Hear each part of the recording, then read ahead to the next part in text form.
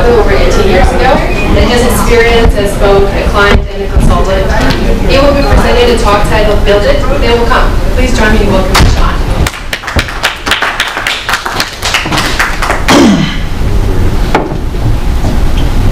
Thank you. And yes, I'm having that hair day, so I'll get that as well. Uh, Do I hit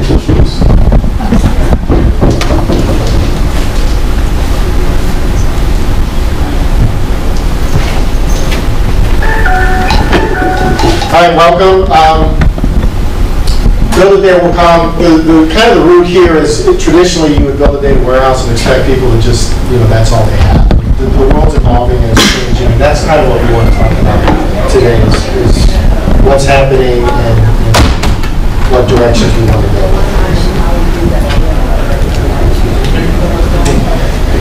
So a lot of it's self uh, self service now, that's the big change, right? So users don't want to wait for IT, they're frustrated. Um, I remember going to a client one time and he said, how come I ask for a new calculation in my reports and it takes three weeks and it's wrong, right? So a lot of folks are no longer willing to put up with that. So self-service is kind of the, the the name of the game now.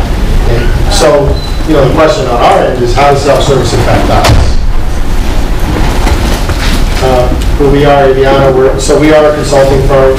We do data analytics, data warehousing, we do some big data. We also do FPM, TM1, that kind of stuff.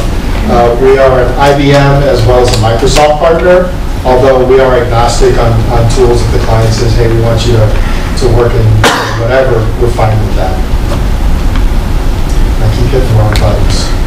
Uh. These are some of our clients.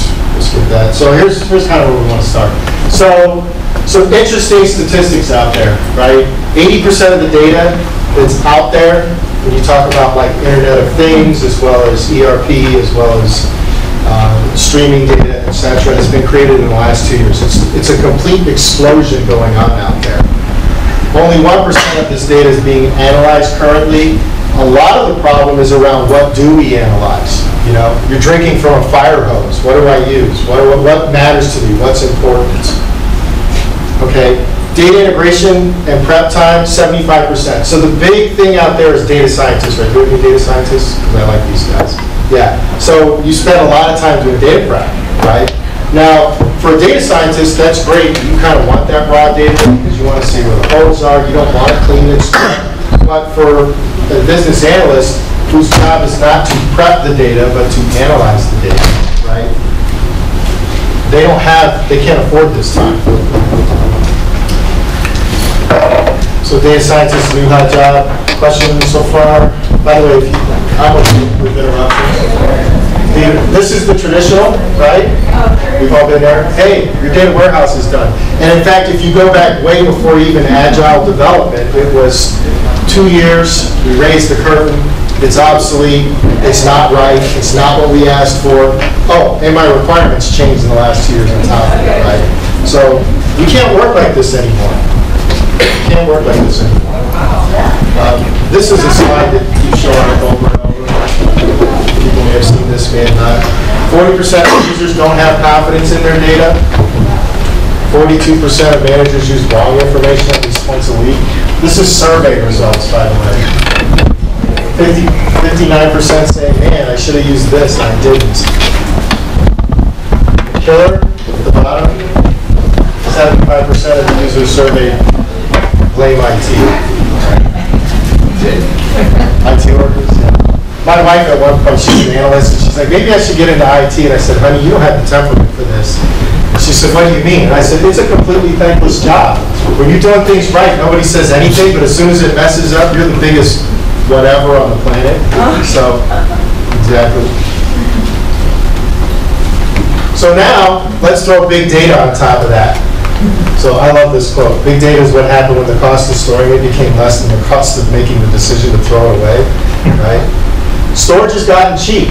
And honestly, the term big data, I'm not a big fan of. I, li- I prefer the term complex data. Because if you think about big data, you know, there's the, the four V's or five V's or whatever, but, you know, uh, volume, right? That may be a big data problem. But you may not have a volume problem, but I want to serve up videos. Well, videos take up a lot of space, so by definition, it's a big, you know, it falls under big data. But really, serving up videos is more of a complex issue. Um, You've also got things like appliances as a big data uh, tool that come- comes into play, right? But, and and now the big thing is the cloud. Well, the cloud may not be a big data problem from a perspective of volume, velocity, veracity, et cetera, but it is a problem because, you know, I've done three different cloud solutions already, and the problems that we had had nothing to do with volume. It had to do with network bottlenecks. So how do you get past that? So you're going to solve that problem a little different than the traditional ETL. So why self-service? Self-service is kind of, at least from what we're seeing, this is now the big trend. Okay, you've got new and emerging external data. We, we have a real-time need possibly, possibly, right? And I say possibly because often a client will say, well, we don't, we want real-time. And we say, well, do you want real-time or do you really need real-time? Because real-time comes with a cost. It Comes with a lot of cost, not just monetary, but, you know, cost in how you look at your data, how you view it, et cetera. Uh, As an account, as an ex-accountant, I don't like real-time because I want to run that report three times during the day and get the same answer. If it's real-time, I get a different answer every time. So I have to filter out today all the time. Seasonality, and analysts need to explore and discover. So the data warehouse, bottom line, can't be a one-size-fits-all. So again, the traditional way of let's gather requirements from three different people and a sponsor, build it out, expect everyone to use it, kind of going away. Actually, how's it? Okay. So, self-service is the big rage, but there are some issues with it, right? So, performance.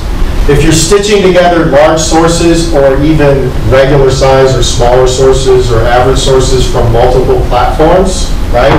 You have performance issues. It's got to grind against two or three different source systems. You got flat file you're introducing. Mismatch is a big thing, right? Master data management can be, become a big problem when you're doing self-service. And by the way, the other problem with self-service is everyone's doing their own thing, right? So you have confusing models, lack of business understanding. So I'm looking at the problem one way, you're looking at it another way, we get two different answers, right? Which one's correct? So lack of governance, big one, big one, big one. Lack of user training, you know? I've been doing this for 18 years, and the new hire who's been doing it for a year and a half, right? Now we get two different answers, who's correct? Inaccurate or misunderstood results, um, I, I love my da- data scientists because you get an analyst and he goes, oh, there's a correlation here, so this is causing that. It's like, no, correlation is not causality, right? So a misunderstanding of what you're looking at, what the results are. All of these are, are challenges to the self-service. And then I kind of hit the last one already, inadequate user experience. So this slide here, it's a little interactive, we're going to go through this. If you get this slide, then you've got my message. Okay, this is what I want to explain. So traditionally, we built that operational data, and this is a little, we have a, a large H and G hospitality gaming, uh, so forgive, this, this comes from that presentation, so that's why you see gaming, lodging, convention. This could be any data, your financial data, your operational data, right, your demand planning data, whatever you crank it through a data warehouse, and you serve it up on a BI platform, right? People, are- the reports are pushed to them, okay? They kind of get what you serve up. And, you know, I think everyone that's in my industry has been doing this for years. Recently, now you start, you know, a few years, about 10 years ago, OLAP became the thing, right? So let's serve up an analytics store, It could be in the form of a cube, could be in the form of a, of a semi-cube, et cetera, right? So now I can analyze, I can slice and dice, so I'm no longer looking at operational type reports, tactical type stuff, I can get a little more strategic. Still backward looking though, right? Still backward looking. I'm looking at traditional sources. I may or may not enrich it. Getting a little more self-service, dashboards became the rage. Now we're starting to do budgeting and planning type stuff, etc. And now big data hits us. What are we looking at for big data? Well, it could be Internet Things type stuff, right? So I've I've got a manufacturing client, and they want, they want the, the the machine data fed into the warehouse, so we can look at downtimes and causes, etc., error codes. It could be uh, I, I want to know, I'm a hotel and I've got a big spender, I want to know where he's at while he's blowing all this money because I want more of it, okay? So I'm looking at streaming data, looking at cloud data, okay? Um, I don't, I'm a, I'm a startup, I've got a lot of data, but I can't afford servers and people to maintain it, et cetera, so I would rather rent space in the cloud. So I have a challenge get, uh, taking care of that. I want to look at people's Facebook stuff, LinkedIn, et cetera. So now, we get into the stuff that's happening now. And this is, the, the word data lake is not up here, but that's kind of inherent in this, right? Familiar with data lake. So data lake is just a single repository where you just kind of plow everything into it. So you'll have your raw sources, you'll also pull your data warehouse into it, etc. And now your data scientists are going crazy.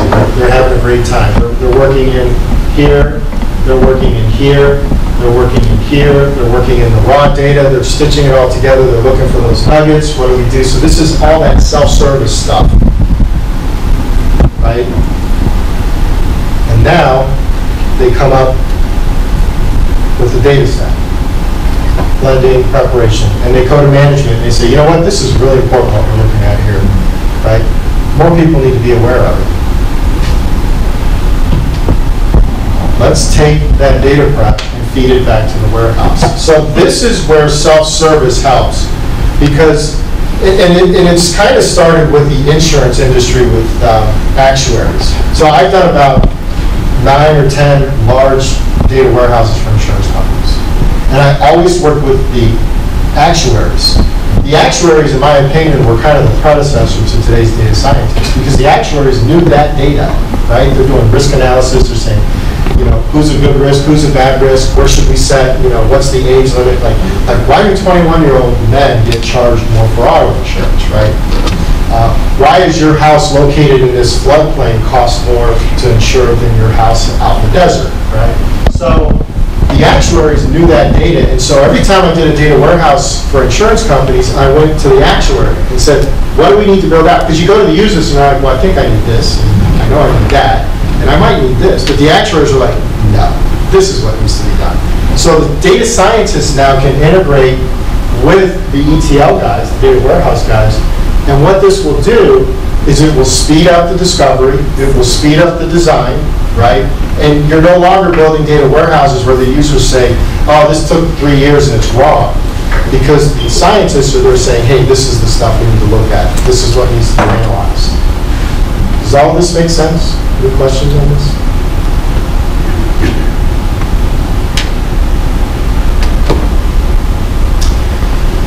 All right, so little, little bitty exercise here. So I want to go a couple through some use cases. So when we talk about self-service, right, you've got your operational type metrics and information you're looking at. You also got stuff that falls more into self-service. So revenue management, right? Is that more operational or self-service? It's more operational data, right? It's financial statements, data cash flows, balance sheet, income statement, product pricing optimization, how should we pri- price our products? I would argue that that's both, depends on what questions you're asking. Inventory, definitely operational type data. Loyalty programs, so you walk into Target and all of a sudden stuff starts popping up on your phone, right? So I want to analyze, and what I'm talking about here is like, how do I analyze this data, right? So this is more, we're not sure what we're going after, so we want that data scientist or that self-service person to be able to grab whatever they need at the time. We don't want them waiting on IT. Gearing ratios, if you don't know what that is, that's labor type stuff.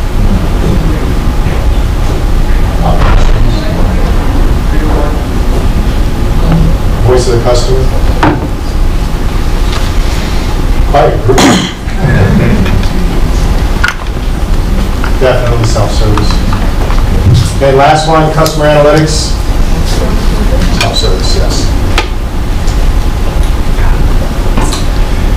So, we like the suits versus t-shirts type thing, right? So, uh, 20 years ago, it was all suits, now we're evolving into t-shirts.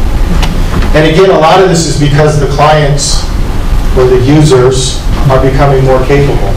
Um, I was talking to a lot of people at our booth today, and some of the students were like, oh yeah, I'm studying this in school, I'm studying that in school. I'm like, that didn't even exist I went to school. So users are more capable, they know more, they know their data better, right? Um, I remember walking into projects and saying, hey, what do we want to do? And the client's like, I I don't even know what we have, right? So I'm doing the data discovery. Now I walk in the door and the clients are like, oh yeah, this is what we need, we need this, this, and this. So they're more capable, um, They're looking for more opportunities. They want to do a lot of experimentation in their data, which is all good. They don't want to wait, right? And they're looking for non-traditional type metrics and and nuggets of data. Self-service uh, preparation, so the big message here is there are now tools becoming available, and these are all fairly new. Um, IBM Cognos Analytics will do some, uh, people sometimes argue with me on that one, but they do have the concept of data modules in there now, so you can pull in web sheets and join it with existing data. Alteryx, think this picture down here might be, I don't know, this is uh, Data Connect. But there's a lot of tools out there that, that, that do this data prep. And what's nice about it is, if anyone's ever done SPSS, there's a data preparation component to that as well. And it, it kind of gives you a graphical of what the steps were you went through. Um, What's really nice about it is, you know, you can do all this with scripts, right? You can- just write SQL and just go to town and do the same thing. But the problem there is that if you decide, oh, there's a problem with what I did, I need to back up three steps and change something. With these tools, what's nice is you can go in there, break a link, add another link, or get rid of something, join it back together, rerun the data, and and get out of it what you're looking for.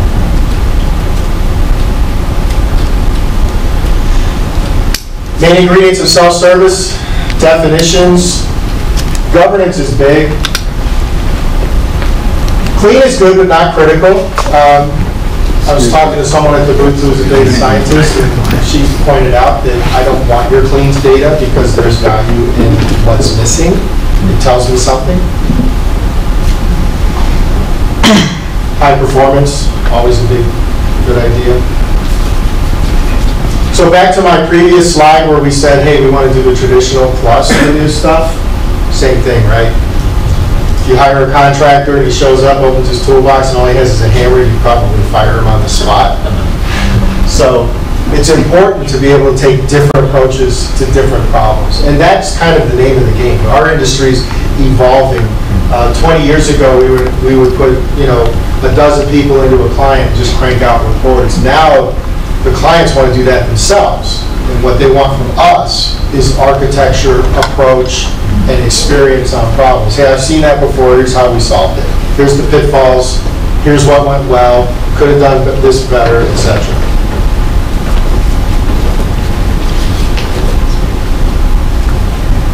This is more of the same. This is kind of your, your steps of, of how you you get to self-service. So understanding the problem is always the big thing, right? Is that your 12 step if you're, know, I am. You have to, if there's a problem. And the first step of solving any problem is finding that problem. The big thing here, and I've actually been using this methodology in data warehouse development for the past probably seven or eight years, is this whole concept of iterations, right? So, you know, it used to be, when I first started consulting, the solutions were, they took a software approach to things, where you would design it up front, start building it out, nothing got unveiled till the very end. Now we're taking a much more agile approach to things. And so I'll walk in with a client, we'll, we'll look at the requirements, we'll look at what we're building out. We'll do almost like a whiteboard design, like not even a formal, just kind of script it up and say, yeah, you know, are we, are we there? Is that what we want? We'll take notes on it, we'll move things around, and then they say, yeah. And then I tell them up front, we're gonna build a, a quick one. It's not gonna be perfect, but it'll hit that ninety percent, and then I want that feedback. And then we'll just keep looping through. Um, What I find is, A, the clients get a lot more excited because they're not waiting three months to see the first thing, and B, they're more involved, so I get better feedback. Self-service functions the same way. Fun- Self-service functions the same way. The big message on this slide, it's not requirements anymore, it's use cases, right? So it used to be, I want a list of this, or I want this data set.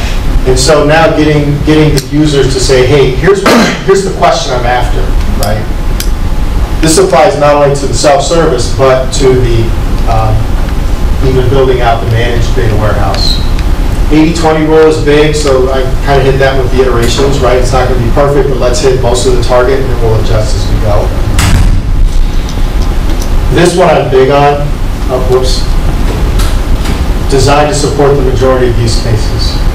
So I, I walked into a situation where somebody had fired someone else and asked us to fix it.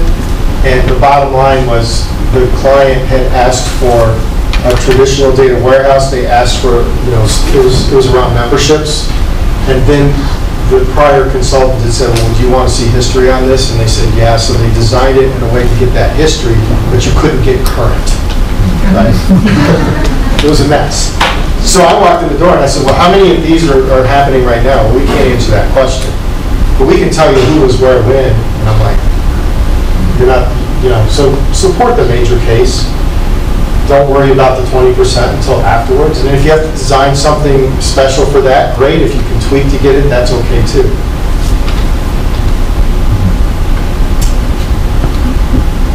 I, just got questions time, so I'm gonna skip some of these. This is just a long quote. I, I think the slides are gonna be presented later. But basically, this is talking about governance, right? This is a huge topic. I've been huge on this always. Um, I'm a little, my surprise isn't that people are big on governance now, it's that they haven't been big on governance before. Uh, Governance is just, you know, what are the rules around our data? Who can see what? What are the rules around, um, you know, uniqueness? What are the rules around what, what can be presented versus not, etc. how data gets entered is a governance thing, what data we're going after. It's kind of our overarching of everything. I think this is my last slide. And my last message, pay attention to user interface, okay? If you were going to stick your ATM card in one of those two machines, which one would you trust versus not? Um, you know, it, it, sometimes we lose sight of that. We're, we're so focused on, on engineering the data that we forget how people are going to interact with it. Um, quick story, my very first consulting gig, which was in Indianapolis, we had spent a lot of time building out the warehouse, and there was actually another firm in there building the reports.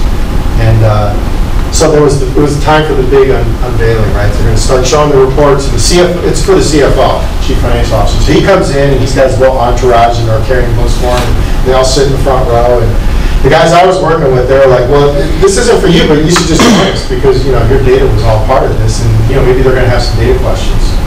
So they put the presentation up and they give, you know, here's, here's what we've done and blah, blah, blah, a bunch of boring stuff. And then they put the first report up on the, on the screen. Now, this is CFO, right? Now I'm an accountant. Okay, and as an accountant, I'll tell you that it's all about the numbers. They throw the first report up there and the CFO goes, that's the wrong color, that's not the font we agreed to, and that's supposed to be a line chart, not a bar chart. He goes, this conversation is finished. Never looked at the data, never. So, you know, I'm a little blown away because I'm going, what does that matter? But users are like that. It's, it's crazy. So you do have to pay attention to how it looks and feels. Because if it's a pain to interact with, people don't want to deal with it.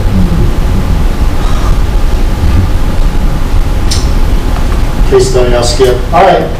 Any questions? Uh, Yes. So for, um, when you go through IT for data, usually you have like assurance, like guaranteeing that your data is accurate.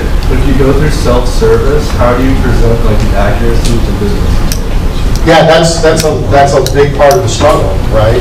So, you know, and, and what is that vetting process? And what I will tell you, the answer to that is it depends on the client, right? Now, as a data architect, I will get involved with that, so we'll, we'll test that data, does it make sense? Um, The, the best anchor for, it doesn't matter what industry you're in, the best anchor is always the financials, because those are served up publicly, so those are vetted numbers, you've got a team of accountants that are saying, yes, this is correct, so you'll bet to that. But how you vet, it depends on the data source and where it's coming from, how accurate it is. You know, if it's internal, coming from the ERP, you have a lot more confidence in it. If it's an external source, not so much. So uh, we spend a lot of time testing, and the data scientists, again, back to that 75% of their time is data prep. A lot of that is vetting time. It's not, it's not how do I get the data, that's actually the easy part. It's did I, did I plow it together right? Did I group it together right? Do I have uniqueness problems? Where's the data holes? And so vetting that data is where a lot of that time is spent. Is one platform better than the other for self-service? No, no. And in fact, um, I would argue that no matter what you're doing, and, and I'm going to say this as an IBM and a Microsoft partner, and if they come and shoot me, I'll deny I said this.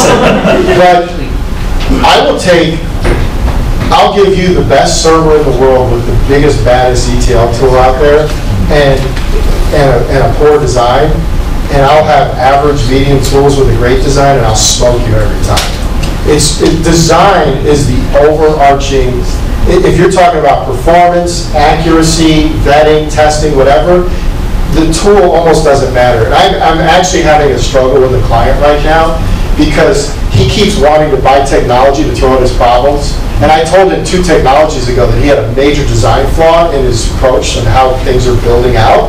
And he doesn't want to solve that problem because he thinks it costs too much. And I keep, now that he's on his Gen 3 new technology, I'm like, how much have you spent on software? Like, you know, I would be cheaper just to come in and redesign this thing and it would perform so much better. Mm-hmm. So, no, the, I, the tool is almost irrelevant. There's a minimum level of tool you need to have, right? Like if you're, if you're gonna plow eight billion rows mm-hmm. into, you know, an access database, that's not gonna work, right? So there is a minimum level of tool, but once you're there, the tool isn't as important as the design. Design and approach are far away the, the most important factors. Yes? Yes, uh, in regards to the question earlier, um, aren't you still gonna use like a coded process or something to, uh, mirror or merge the, uh, the ETL data to, say, unstructured data? Aren't you guys doing the same process? to Test it? You can, I mean, you can, you can test it externally, so you can extract and test, you can also test within. It's, everyone's different. It, it's hard to say, here's the right answer, because there is no right answer, there's only wrong answers, right? Is that, I I'm probably not answering your question, but. Yeah, so it's, you almost really have to do a continuous, uh, structure that's, that's very against the, Some people will build test models and algorithms, you know, I, I've had clients that simply dump everything out into Excel and look it up against each other, right? I mean, it, it's all over the map. It, it depends on competency, depends on experience, depends on how well they know their data. You know, um, I had one client, um, I wasn't the developer, I was in there doing something else, but I was called into the meeting because there was two reports that were built that were supposed to match. And you know, you crank them up, and the, the client said, this one's wrong, and they didn't even test it. They said, this is the right one, this is the wrong one, and it's because they knew the financials. So they looked at it and said, this one, it was AR data. And they're like, this is the right answer, this is the wrong answer. And I'm like, how do you know? Well, because I just did the balance sheet. So, you know, it's, it's all over the place. And, um, Again, I'm probably not answering your question, but it's, it's a nebulous problem. Does that make sense? no, it's, it's, it's a big problem. I mean, we're going from a ERP, uh, Well- uh, you know, pieces of data, yeah, you have that different process, but they are To that point, I mean, even ERP data is never all that clean, right? I mean, there's holes in it, there's stuff missing, there's duplicate records, right? So, you know, how do you test it? And, and and again, it depends on the problem you're testing. So there is no one, one answer to it. Um, My preference is to test it multiple ways, right? So we'll- we'll test it with kind of a sledgehammer approach, where we just dump stuff out, look at bottom lines, and then we'll start going through, through some algorithms. It just, it just depends on the problem. All right, thank you, everyone.